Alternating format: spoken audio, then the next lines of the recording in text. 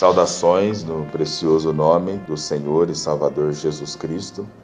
Vamos à palavra de Deus nesse momento que se encontra em Êxodo capítulo 19, versículo 10. Diz assim a palavra de Deus Disse também o Senhor a Moisés: Vai ao povo e santifica-os hoje e amanhã, e lavem eles as suas roupas.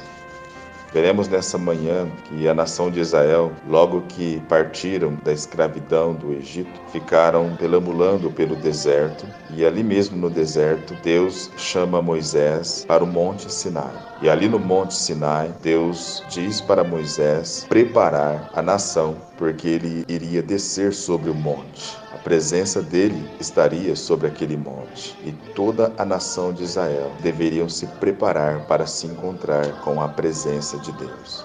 Ali eles estavam diante da sombra da majestade de Deus. Ninguém podia se aproximar do monte, ninguém podia tocar no monte, ninguém podia ficar próximo do monte, porque a majestade santa estaria descendo sobre aquele monte. Pergunto eu, Será que nós estamos nos preparando para entrar diante da presença de Deus?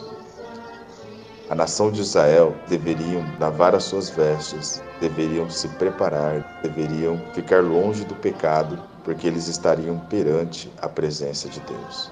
Não é diferente comigo com você. Quando nós nos chegamos diante de Deus, que é santo, puro, através do precioso sangue de Cristo, também devemos nos preparar. Que Deus nos abençoe e que a sua presença esteja conosco nesse dia.